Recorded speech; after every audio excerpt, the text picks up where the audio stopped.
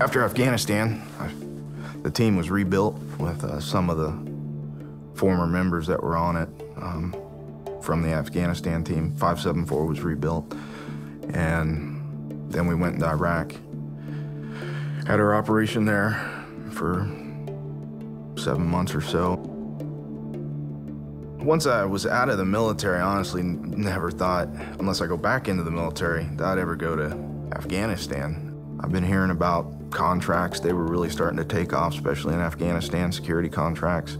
In December 03, got on with a company that was doing the security uh, contract at that time for uh, Karzai, called it the Karzai Security Detail. And once I found out I was going to be on it, I was pretty fired up, or, you know, just kind of like wowed. I was like, I'll be darned. You know, here's a guy that 574 team I was part of initially, you know, worked with this guy.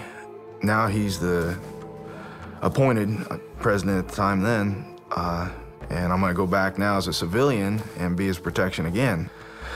I remember landing there. We're flying in, I'm looking, and it was the first time I've been to Kabul.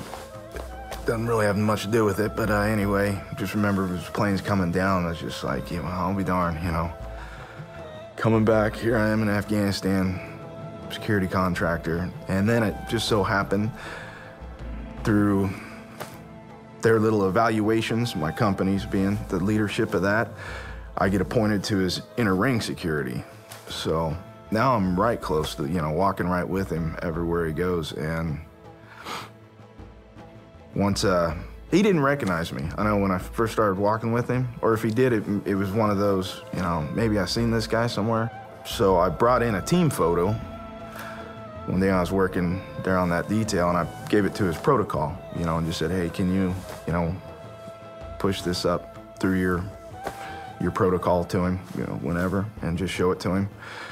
And he did. And then as soon as Karzai seen that, you know, he's like, oh, who, you know, yeah, who gave you this, you know, get it, bring him up here. So I, he came up and he's Karzai, from my experience in Afghanistan and in working with him, again, nothing political, but just as a, a, person, he's always appreciative of the, the team. And when he was in Afghanistan, then when I come up, you know, he's nothing but handshakes and asking about the guys and, you know, what I, how, what have I been doing and just, yeah, real appreciative.